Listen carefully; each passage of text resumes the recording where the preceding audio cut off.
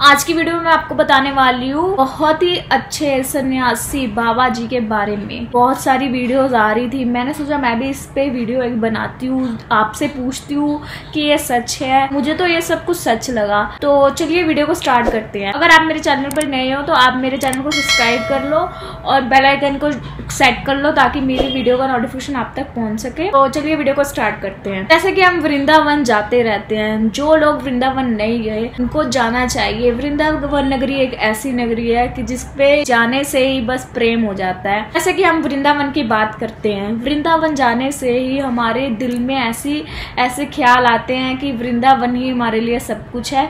वृंदावन बहुत ही अच्छा बहुत ही अच्छी नगरी है। यह है कि जहाँ पर राधा कृष्ण रहते थे, जहाँ पर उन्होंने अपनी रासें रचाई और आपको पता ही होगा कि वृंदावन में कितना ही आनंद आता है। वृंदावन बहुत ही प्यारी सी नगरी है, छोटी सी नगरी है, बहुत ही प्यारी सी है। तो इसके रिलेटेड आपको मैं कुछ बताना चाहती हूँ। कि इस स्थान वृंदावन में जाता है तो वो राधा कृष्ण का ही नाम जपने लग जाता है। उसकी ज़िंदगी में राधा कृष्ण का बहुत ही ज़्यादा महत्व बढ़ने लग जाता है।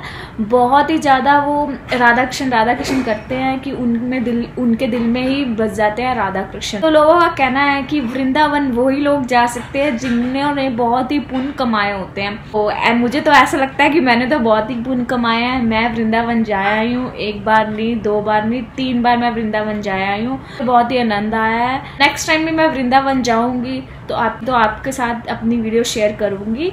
आप वृंदावन में गए हो, आपने बहुत सारे मंदिरों में घुमा होगा। बहुत से मंदिर आप देखे होंगे, बहुत से मंदिरों में आपने कारी जी के दर्शन, राधा रानी के दर्शन किए होंगे। उनमें से एक मंदिर, से एक मंदिर, जो राधा वल्लभ के नाम से जाना जाता है। उस मंदिर में बहुत ही, उसी के रिलेटेड मैं आपको बताने वाली हूँ। एक संत हैं, उनके बारे में बताना चाहती हूँ। प्रेमानंद जी के बारे में बताना चाहती हूँ। कई लोगों ने उनके बारे में बहुत कुछ सुना होगा। बहुत ही अच्छी अच्छी बातें सुनी होंगी। तो सुन के मैं बहुत ही एक्साइटेड होगी कि इन बाबा जी के बारे में कि वो कैसे रह रहे हैं अपनी किडनियों के बिना। सही सुना कि वो अपनी दोनों किडनियों के बिना इतने टाइम से रह रहे हैं। तो उनकी वीडियोस में तो बहुत सारा कुछ देखा। वीडियोस देखी, उन्होंने बहुत ही ऐसे अच्छे अच्छे शब्द कहे हैं कि वो मुर्दे इंसान को भी ज़िंदा कर दे। ही अच्छा वो बोलते हैं ही अच्छा वो ज्ञान देते हैं। क्या कहना है कि जो कि अपने हृदय से लगाकर, अपने मन से अच्छी तरह से राधा रानी और कृष्ण भगवान को, बिहारी जी, राधा रानी को अपने तन मन में, अपने हृदय से लगा सकते हैं। कथा में ये सब सुनाया जाता है। जी का जन्म एक ब्राह्मण परिवार से हुआ। के पिता का नाम शंभू पांडे था और इनके दादाजी एक सन्यासी थे, बहुत ही बड़े सन्यासी थे। इनके पिताजी ने भी बाद में सन्यास ले लिया था और इनकी माताजी बहुत ही रिच थी। बहुत ही अमीर थी। माता पिता के हृदय में मतलब इनके माता पिता के मन में संतों के लिए बहुत ही प्यार था, बहुत ही ज़्यादा प्यार था। परिवार संतों की बहुत ज़्यादा सेवा करता था, बहुत ही ज़्यादा सेवा दान पुण्य करता था और ये बहुत ही अच्छे से पूजा पाठ में पूरा ध्यान लगाए रखते थे। जी के जो बड़े भाई हैं, वो भागवत गीता पढ़ते थे और पूरी अपनी फैमिली को बिठाकर पढ़ाया करते थे। मिलकर एकदम शांति से गीता को सुना करते थे। तो मैं आपको प्रेमानंद जी के बारे में बताती हूँ कि प्रेमानंद जी के मन में ये आने लग गया जब वो पढ़ते थे कि पढ़ने से ही सब कुछ हो जाएगा, पढ़ने से ही हमें सब कुछ मिल जाएगा। तो अगर नहीं मिला तो हमें इससे इसका कोई फ़ायदा नहीं है। ज्ञान मिलेगा, वो ठीक है बट इसका कोई फ़ायदा नहीं है। ये उनके मन में आने लग गया। तो उन भक्ति की लाइन चूज़ की। तो जैसे वो जाप करते रहे, उनकी भक्ति और बढ़ती रही। ये बात अपने मन में बैठा ली कि मुझे भक्ति का ही रास्ता चुनना है। ये बात उन्होंने अपने माता पिता को बताई। तो उन्होंने भी उन्होंने भी समझा, उन्होंने भी उनको समझा, भक्ति वगैरह का ज्ञान दिया। प्रेमानंद जी ने अपना घर तेरह साल की उम्र में ही छोड़ दिया था तो उन्होंने सन्यासियों से ही अपनी पूरी शिक्षा ली, अपने आप को पूरा समझा, अब ज्ञान लिया, सभी दुनियादारी की बातें समझी। प्रेमानंद जी ने अपना अपना सब कुछ छोड़ के संन्यास ले लिया। जी गंगा किनारे ही रहते थे, जितनी भी ठंड हो वो अपने नॉर्मल कपड़ों में ही रहते थे, जैसे कि आपने अब देखा है।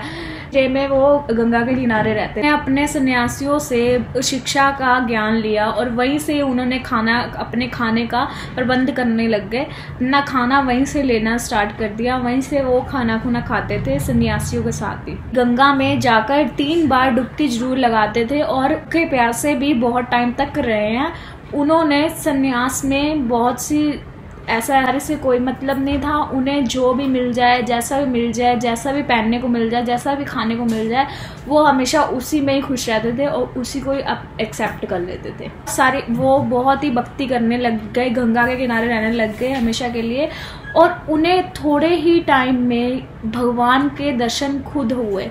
तो उन्होंने इस, उन्होंने अपनी वीडियोस में इस काफ़ी टाइम बोला है कि मुझे भगवान के दर्शन हुए काफ़ी लोगों ने भी बताया कि उनको भगवान के दर्शन हुए साक्षात भगवान के दर्शन हुए। तो भगवान भोलेनाथ के दर्शन हुए तो उनका कहना था कि उनके वजह से वो वृंदावन में आए हैं। तो उनकी ही मदद से वो वृंदावन में आ गए। वृंदावन में वो बैठकर ध्यान लगा रहे थे तो वैसे ही उनको राधा कृष्ण दिखे तो उनको राधा कृष्ण के दर्शन हुए कहते हैं कि उनको राधा कृष्ण की काफ़ी लीलाएँ देखने को मिली उनको रास देखने को मिली उनको बहुत ही कुछ देखने को मिला। तो सोचिए आप भी वो कितने लकी होंगे कि उनको बहुत सारा कुछ देखने को मिला ऐसा ऐसा जो हम भी लोग चाहते सब कुछ छोड़ के सब कुछ छोड़ के अपना मन वृंदावन में ही लगा लिया।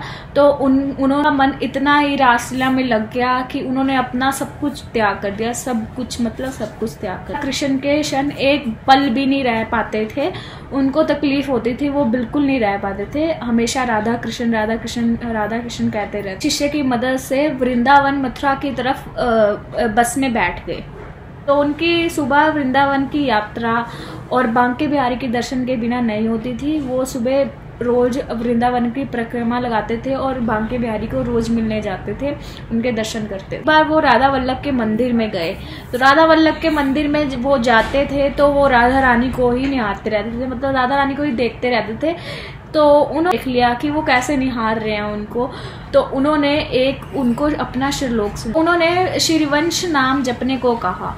महाराज ने ये सब उन्हें बोला तो वो भी जपने लग गए। वो जपने में थोड़ा सा झिकझिका रहे थे। मतलब उनको लग रहा था कि ये क्या है कुछ भी नहीं है। तो उन्होंने फिर थोड़ा सा शर्मा रहे थे।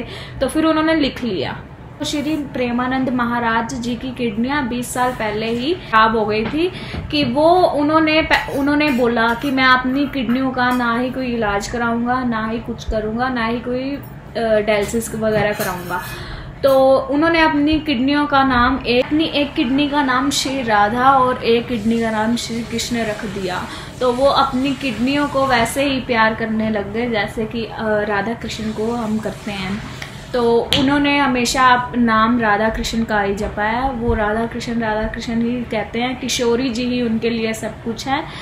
तो वो किशोरी जी का नाम ही सारा दिन जपते रहते हैं। अपना में, अपने कथा में वो हमेशा राधा किशोरी कृष्ण के बारे में ही, श्री कृष्ण के बारे में ही बातें करते रहते हैं। उनके बारे में ही सब कुछ बताते रहते हैं। और उनकी बहुत सारी अच्छी अच्छी बातें हैं जिनको सुन के हमारे मन को बहुत ही अच्छा लगता है। और जैसे कि इतना अच्छा लगता है सुनने के लिए कि जैसे कि हम सारी, सारा दिन रात उनको ही सुनते रहे और उनके दर्शन, अगर आप वृंदावन जा रहे हो, मथुरा जा रहे हो तो आप उनका दर्शन ज़रूर करें। आपको वो ज़रूर मिलेंगे और आप उनको ज़रूर मिलें और आप उनके दर्शन ज़रूर लें कि वो उनको भगवान के भी दर्शन हुए देखिए वो एक तरह के भगवान भगवान का ही रूप माना जाता है। हम हमें उनका उनको ऐसा ही मानना चाहिए बात कि वो कहते हैं कि मैंने अपनी किडनियों का इलाज बिल्कुल नहीं करवाना है। जब तक मुझे राधा रानी किशोरी जी जब तक मुझे ज़िंदा रखती हैं तब तक मैंने रहना है। मैंने किसी के मैंने की, की किडनी को निकाल कर मैंने अपनी किडनी फिक्स नहीं करनी कि उसको भी दुख होगा। कि उसमें भी दर्द होगी तो इसलिए जब तक मुझे किशोरी जी ज़िंदा रखती हैं, जब तक मुझे किशोरी जी किशोरी जी सही सलामत रखती हैं तो मैं सही रहूँगा, नहीं मिलेगी तो इसलिए उनका ये कहना है। तो आप भी बताओ कि किशोरी जी किशोरी जी करते ही आज कितने ही स्वस्थ हैं और कितने ही अच्छे दिखते हैं और कितने ही फिट दिखते हैं। तो ये सुबह उठते हैं, सैर करते हैं, सब कुछ जैसे नॉर्मल करते हैं, लोग वैसे ही करते हैं ये। तो इनको अभी कोई परेशानी नहीं है, दिक्कत नहीं है। तो जैसे जैसे किशोरी जी का नाम लेते हैं तो वैसे वैसे ये हमारे मन में और ही प्रभावित होने लग जाते हैं। तो हमारे मन को बहुत अच्छा लगता है इन्हें देखकर, इनकी बातें सुनकर, इनकी इतनी अच्छी अच्छी बातें, आप इनकी बातें हर एक सुनिए मैं भी आपको इनकी बातें ज़रूर सुनाती हूँ। आप आप वीडियो के आगे देखें इनकी बातें और आप देखिए कि ये कितना अच्छा बताते हैं, कितनी अच्छी अच्छी बातें बता रहे हैं। तो मेरी वीडियो अच्छी लगी तो मुझे लाइक सब्सक्राइब ज़रूर करना और ऐसे ही वीडियो सुनाने के लिए मुझे कमेंट में बताना। और अगर आपने इनके बारे में बहुत सारा कुछ सुना है तो मेरे को भी ज़रूर बताना कमेंट में और मैं आपको भी रिप्लाई करूँगी। Thank you